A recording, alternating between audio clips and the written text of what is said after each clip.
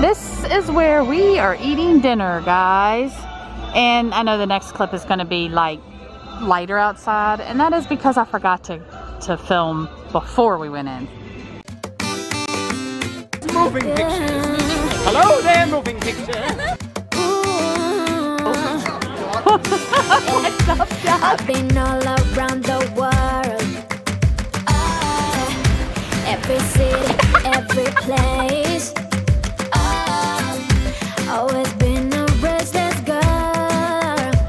Can y'all tell where we're eating? We're right across from the pyramid, and we've actually never ate here before. We have checked in, and hopefully very soon going right, we had to do the whole scanning of the menu thing. This is one thing that's probably not going to change after everything goes back to semi-normal.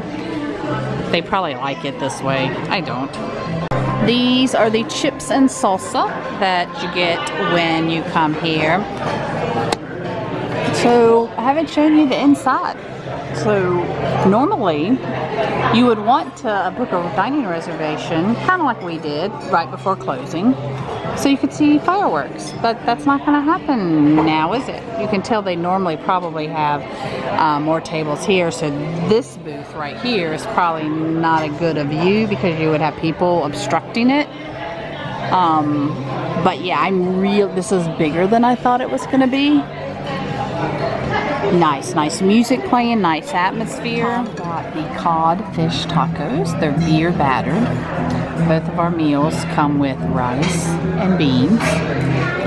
Um, I got the chicken, and he actually brought me some tortilla shells. Um, little bitty tortilla shells here. You can see they're they're pretty tiny um, to make little um, fajitas or whatever if I wanted to, burritos, whatever. Um, this is a pineapple sauce. Tom, he dropped all the food. We didn't have our dish uh, silverware yet. And Tom said, um, he, when he asked, could he get us anything else? Tom said, silverware. And he says, don't be shy. He says, you're in a Mexico restaurant. Use your hands. I really like these hanging stars.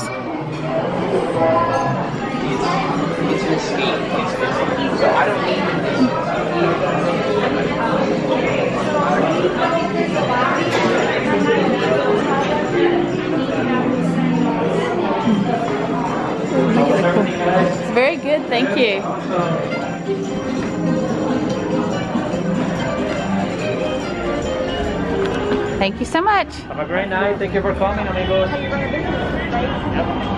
Oh, this is so weird. The park is closed. It closed 30 minutes ago.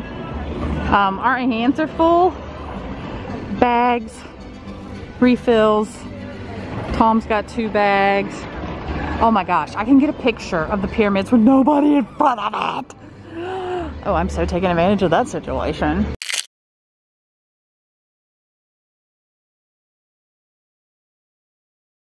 Now we normally like to do these re reviews from, you know, right after eating from the parks. But because of the whole mask situation, we wanted to make sure you could hear us. So it's actually the next day at the resort. So, atmosphere, wonderful.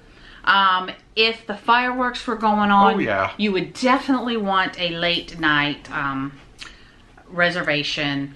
And Those we, windows were huge. You don't yeah. realize it from the outside. Yeah, we, we've seen it before, though. If you have a reservation, which is kind of eking up on the start of firework time, they expect you to stay, and I would imagine it would have been the same yep. here.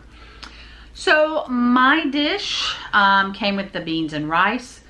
The best black beans I have ever had. Like the manager actually came around, you were in the bathroom, um, asked if everything was okay and I praised about those beans. I don't know what the flavoring was, but they were wonderful and I love black beans.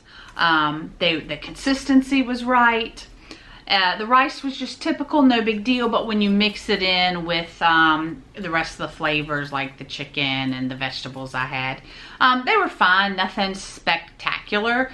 Had a little bit of spice to it, a little bit of kick. The salsa they gave us oh, let, a little let, bit of kick. Let, let's go back to the salsa they gave us, the other precursor here.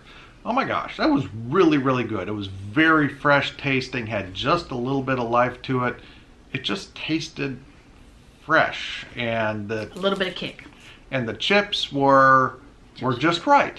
They were. Um, they were a little bit warm, had just a little bit of salt to them. They weren't greasy. They had some body and some flavor to them. I think that's why I liked them, is they weren't greasy. Holy cow! They, yeah, that, that was some of the best chips and salsa I can remember in a long time. Um, he brought little corn shells out for me if I wanted to make like a quesadilla, fajita, whatever. Um, I, I may have shown y'all that, that it was kind of, um, they were kind of like stuck together and they were just average. Uh, price wise, What'd you have? just like a chicken and vegetable thing. Okay, I don't think you told them. Well, they knew because they just saw us eating it.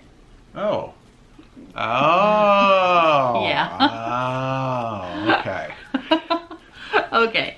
Um, so I don't do a lot of editing. the um, you know, they didn't have a lot to choose from. No, yeah, once again, it was just a very limited. And that may be because of the virus. So many restaurants are like cutting their menus in half almost. So I have no idea because this was the first time we'd ate there. If the dining plan was going on, that would have been a one credit meal. Uh, we, we were ready to try that one. Uh, Yeah. Prices were kind of up there for Mexican food, you know, but we're at Disney, so you got to kind of expect that. Yeah, my uh, codfish tacos were pretty darn good. Holy yeah. cow! I, I, I had one as like the whole taco thing, um, and that was a little awkward, but still, no, it worked pretty good. The shells again were pretty good. It had this nice little lambery sauce on it, Like and a lime sauce was no pineapple. No, no, there was a pineapple salsa on it, But then it had some sort of sauce on it too, which added some flavor, and it was really, really nicely prepared um, fish. They were like, it was kind of like a fish bratwurst.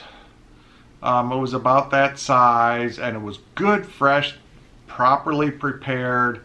Um, if anything, just a touch on the greasy side, as far as you know, it was kind of like I almost had fish and chips anyway, uh, which I love in Epcot um, because the fish was a lot like that, and then we had the tortilla chips, which of course any English person would like think that was all wrong. But anyway, So I actually took two bites of his fish, only two because I don't do well. I don't like fried foods, but I wanted to taste the fish. But that pineapple stuff that was on top of it was so good. That flavor with the fish was wonderful. Now, granted, I couldn't take more than two bites because it was greasy. Yeah, And I- that was too much for me. yeah, I, I I really enjoyed it. Yeah, there wasn't a lot for me to choose from there that I was going to be real happy with, but uh, I kind of went out on a limb there and was very pleased with what I had.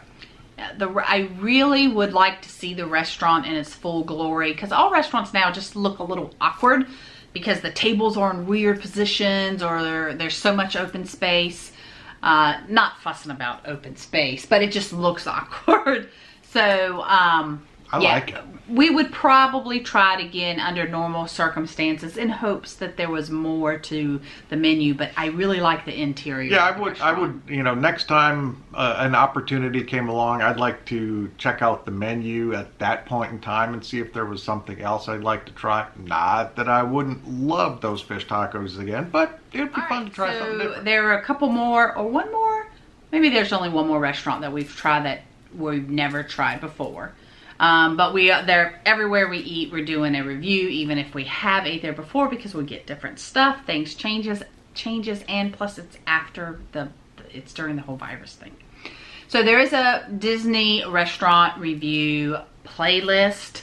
So if you're curious about a restaurant, check out that playlist. We probably have it on there. Wow, where did who did all those reviews? We did over years.